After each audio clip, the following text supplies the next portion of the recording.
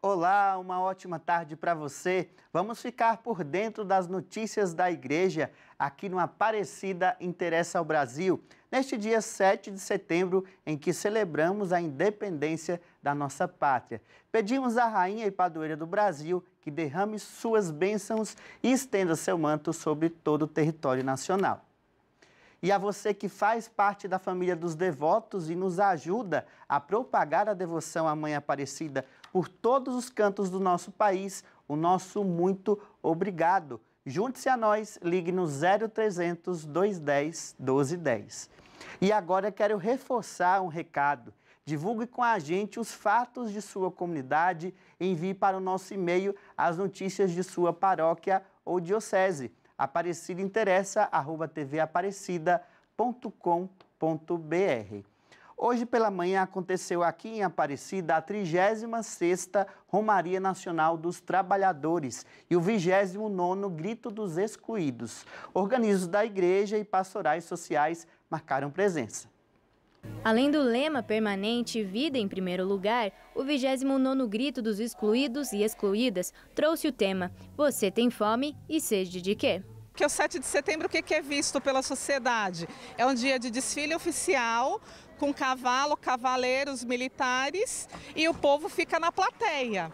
Quando a gente começou com a ideia do grito, a gente quis inverter isso para que os excluídos e excluídos da sociedade, a população no geral, ela passa de espectador para protagonista. Então ela vai para a rua, ela grita os seus direitos. A concentração foi logo cedo em frente à Basílica Histórica. Pela primeira vez, a Pastoral do Povo da Rua marcou presença. 46 pessoas em situação de rua vieram à Aparecida para cantar e orar por um Brasil novo.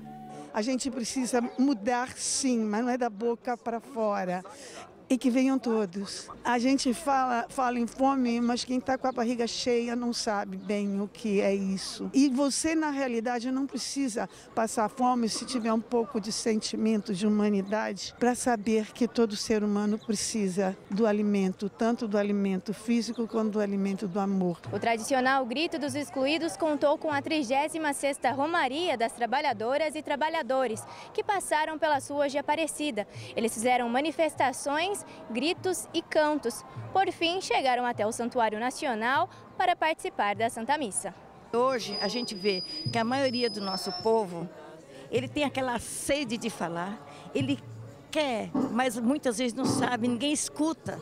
Então a gente precisa escutar esse povo. A celebração foi presidida por Dom Reginaldo Andrieta, bispo referencial da CNBB para a pastoral operária.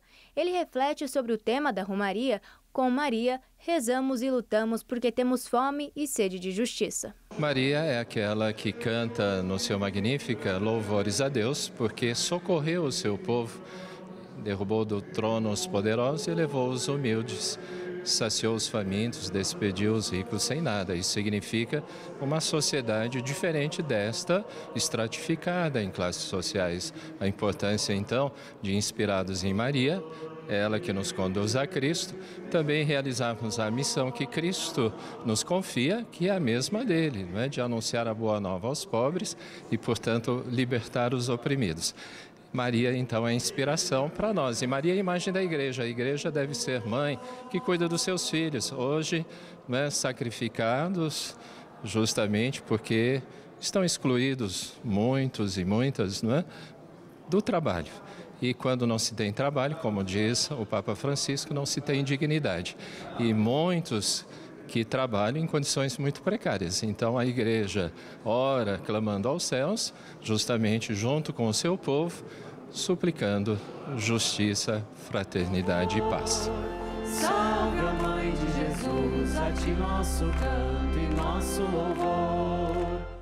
E você sabia que os religiosos da Ordem dos Frades Menores Franciscanos tiveram um papel importante e contribuíram com a independência do Brasil? Veja na reportagem os detalhes dessa história. Ao lado da igreja, um prédio histórico, com capelas e muitas obras de arte. São 415 anos do convento Santo Antônio, no Rio de Janeiro. Foi nesta sala que o discurso do Dia do Fico, em 9 de janeiro de 1822, foi escrito pelo Frei Sampaio, mentor político de Dom Pedro I.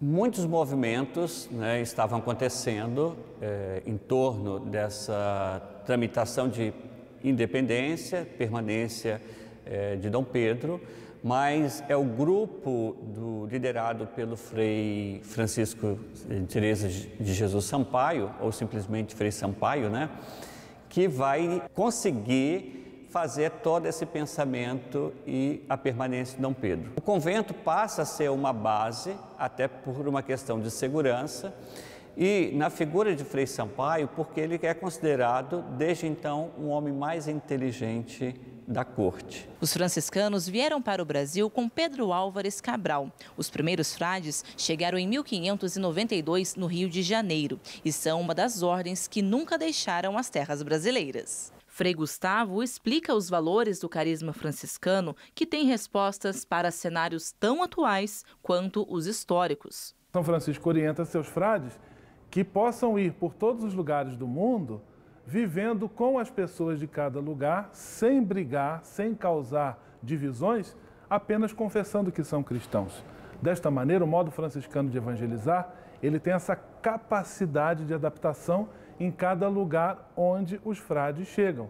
E assim também nós podemos dizer que foi aqui em terras brasileiras. Francisco queria uma ordem de irmãos que vivessem como irmãos entre si e também manifestasse esse senso de fraternidade para com todas as pessoas com quem eles convivessem e, para além das pessoas, com os próprios bens da criação, o cuidado com a casa comum. Há mais de 400 anos, a missão da Ordem dos Frades Menores Franciscanos segue acolhendo leigos e religiosos, chamado reforçado neste terceiro ano vocacional. Desde o descobrimento, desde a chegada dos primeiros portugueses no Brasil, nesse processo de colonização com os franciscanos, a espiritualidade, os valores franciscanos trazidos para cá pelos frades, continuam contribuindo para a conformação da nossa sociedade e podem contribuir muito para que vivamos num mundo melhor. Quanto mais nós nos destivermos a voltar à raiz do Evangelho, que é o amor, a paz, a justiça, mais adaptáveis e mais respostas nós teremos aos grandes desafios que mudam cada dia e que vão aí nos interpelando em nossa missão evangelizadora. Acompanhe agora os destaques da CNBB.